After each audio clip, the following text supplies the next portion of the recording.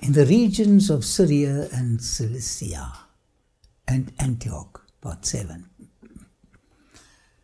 Where did Paul go after his 15 days at Jerusalem? Then, after three years, I went up to Jerusalem to see Peter and remained with him 15 days. I wish I could listen, could have listened to that conversation.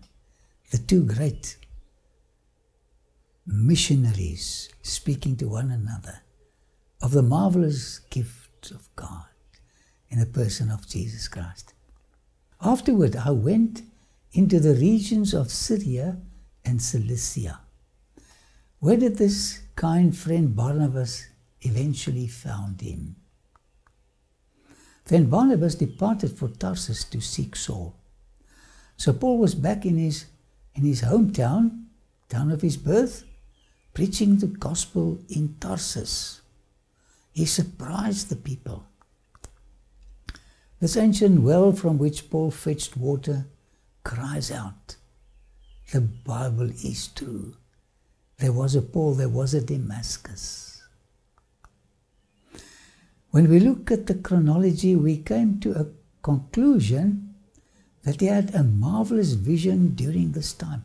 Right here in his hometown, he saw something stupendous. Listen to what he writes in 2 Corinthians chapter 12 verse 2. I know a man in Christ who 14 years ago, whether in the body, I do not know, or whether out of the body, I do not know. God knows. Such a one was caught up to the third heaven. He tells of this experience that he had 14 years before writing the letter to the Corinthians. So this vision was given to him in Tarsus. You know, this makes a visit to Tarsus where he had the vision a very special place. Maybe you'd like to hear about the vision. Let's read it. I know a man in Christ who 14 years ago, whether in the body or I do not know, or whether out of the body, I do not know. God knows. Such a one was caught up to the third heaven. There are not seven, only third. Three. Here, our atmosphere, the starry heavens, and then the abode of God. Only three. He was in the presence of God. He was in heaven. I don't know of such a man, whether in the body or out of the body, I do not know. God knows. How he was caught up into paradise. Another word for the third heaven. That's paradise. We will be there. When Jesus comes, he's going to take us there. Into paradise and heard inexpressible words which it is not lawful for a man to utter. So he never uttered these wonderful words talking to Jesus. What an experience! I wish he had related more about what he saw. Are you looking forward to be in heaven one day? You know, there won't be any corruption. You won't have to swallow pain pills. You will not have depression. You will have no regrets. You'll be in the presence of God. And in His presence, there is no death, no pain, no sorrow. I'm looking forward to that day. And I want to meet you there. Meanwhile, during Paul's stay at, in Cilicia, Christianity had been progressing in other areas. You're looking at a place called Antioch.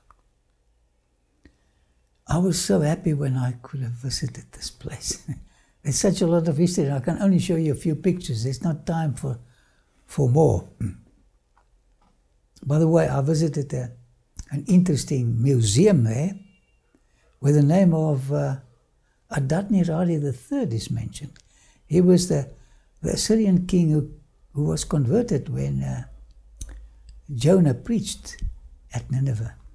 A growing interest had developed at Antioch in Syria, and Barnabas had been dispatched from Jerusalem to foster it, to care for it. Listen to this fascinating story. Now, those who were scattered after the persecution that arose over Stephen traveled as far as Phoenicia, Cyprus, and Antioch, preaching the word to no one but the Jews only. What was going to happen here?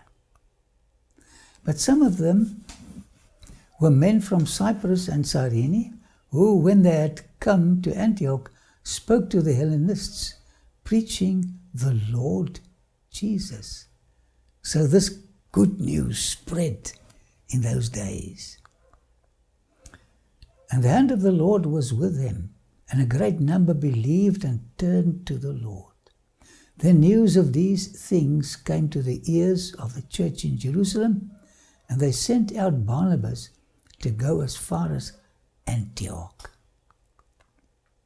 When he came and had seen the grace of God, he was glad and encouraged them, all that with purpose of heart, all that with purpose of heart, they should continue with the Lord. Continue with the Lord. Never cease to continue with Him.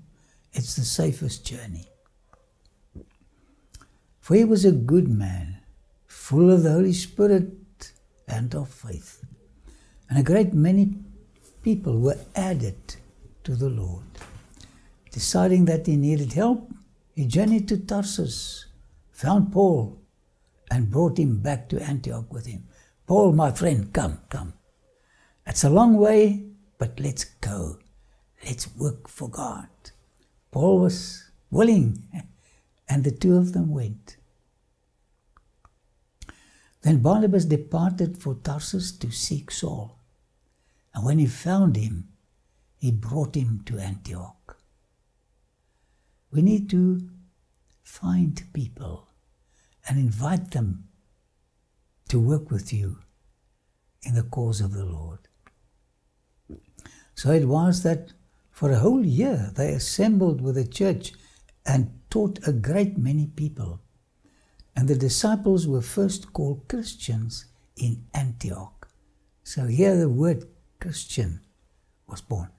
Paul and Barnabas worked together there for a full year with noteworthy success.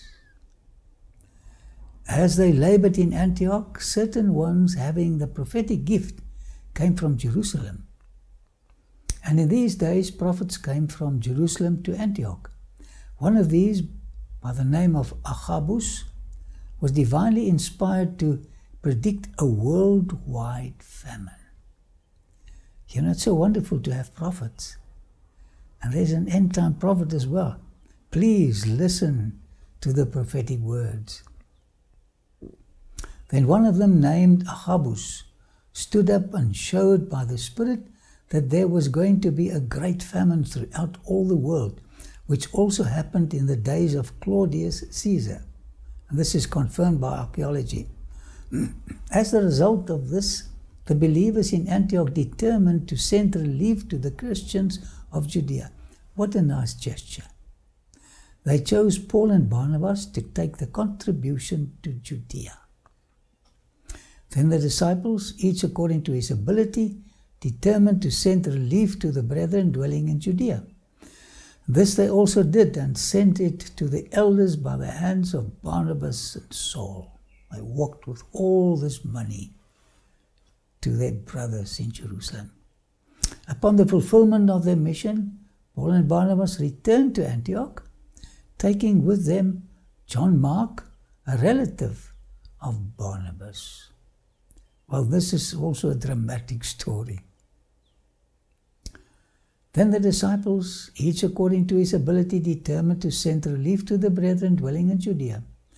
This they also did and sent it to the elders by the hands of Barnabas and Saul. A dream which eventually became, sorry to say, a nightmare. More about a very sad incident in the lives of two bosom friends. Have you had a quarrel with your best friends and departed from him? This is our next episode. Thank you for watching this presentation. To subscribe to our channel, click here, then click the bell to get notifications. For the next presentation, click here. See you next time.